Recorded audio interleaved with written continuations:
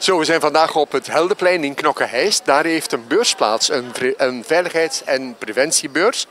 Uh, Safety at the Beach, uh, dat is de algemene titel. Wie er alles over weet is uiteraard uh, Schepen Annie van den Bussen. Schepen, goedemiddag. Vertel even waarom zo'n beurs hier vandaag op het Heldenplein. Wel, uh, Knokke-Heist zet natuurlijk in de zomermaanden extra in op veiligheid en preventie. Dus uh, dat doen wij door uh, heel wat jobstudenten dan aan te werven in de zomerperiode.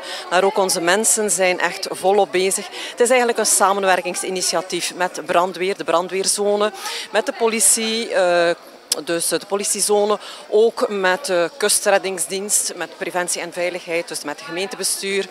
Uh, allerlei gemeentediensten helpen hier aan mee, ook het Rode Kruis. Het is eigenlijk echt gewoon de mensen die naar de kust komen, vakantiegangers, toeristen dus, maar ook de eigen bevolking echt dus wijs te maken doorheen welke acties er allemaal mogelijk zijn um, om uh, ja, dus, uh, veilig de zomer door te brengen, zeg maar. Men heeft hier wel een en ander uit de kast gehaald vandaag hier op het Eldenplein. Ja, zoals ik al zei, het Rode Kruis is hier.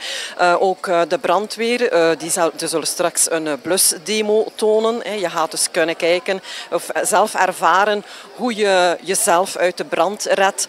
Uh, de Bob-campagne wordt nog eens toegelicht. Uh, er zijn ook uh, ja, de veiligheidsverdwaalbandjes voor kinderen die, die er zijn. die er overal trouwens te vinden zijn hier langs de kust. Uh, ja, je hebt eigenlijk allerlei um, ja, zaken die hier, die, hier aanwezig zijn um, om eigenlijk aan te tonen aan onze mensen van kijk, um, dit is echt wel nodig. Dus 120 tot 150 mensen zetten zich dagelijks in. En ik wens haar dan ook echt wel voor te danken en te feliciteren dat ze dit willen doen.